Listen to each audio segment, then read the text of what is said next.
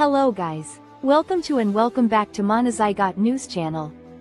Monozigot blog coming back with news face. Monozigot blog come with news of the drama, lyric and translate, and MP3 downloading. And we will grow more. You can visit our blog on monozigotchannel.blogspot.com. Thank you so much. See you there. In this video, we will discuss the latest drama from Yang Yang, a cool actor who is among the famous actors who are very good in costume series.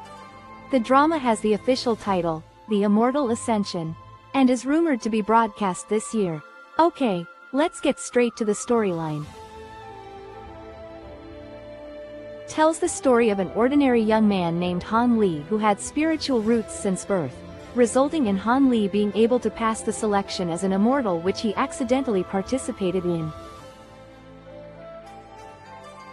After passing the selection, Han Li was taken as a disciple by Mo Dafu, and his journey as a cultivator began. On his journey, Han Li met many friends and also his lover, Nangong Wan, who was the reincarnation of a goddess named Gan Rushuang. Starring Yang Yang as Han Li and Jin Chen as Nangong Wan. This drama is adapted from the novel with the same title written by Wang Yu. As a fan of Yang Yang and custom dramas, Mono is very interested in watching this drama later, even though Mono doesn't really like the acting of the female lead. But Mono is still looking forward to the chemistry between the two of them. What about you guys? Are you also waiting for this drama? Okay, thanks to all of you who have watched this video until the end, that is the biggest support for us and don't forget to subscribe to this channel.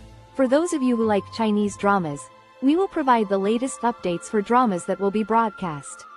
And see you, on the next video.